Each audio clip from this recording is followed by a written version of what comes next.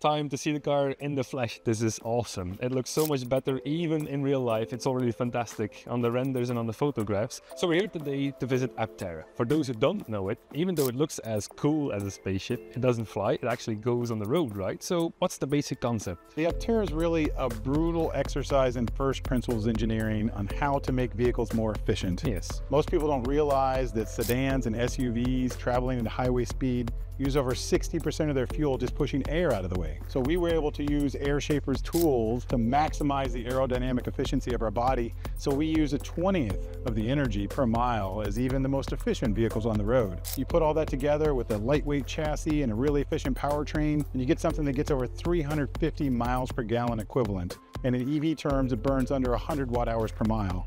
So it's just so much more efficient than anything else out there. It's four times more efficient per mile than the average EV. So that means we can have a small battery pack and we can go a really long distance, a thousand miles range or 1600 kilometers is the longest range we have. And we can add cool things like solar charging. So this vehicle can actually charge back 40 miles or 60 kilometers a day free from the power of the sun. But it's all enabled by first making the most aerodynamic vehicle possible, making it lightweight, an efficient powertrain, and all that really started with AirShaper.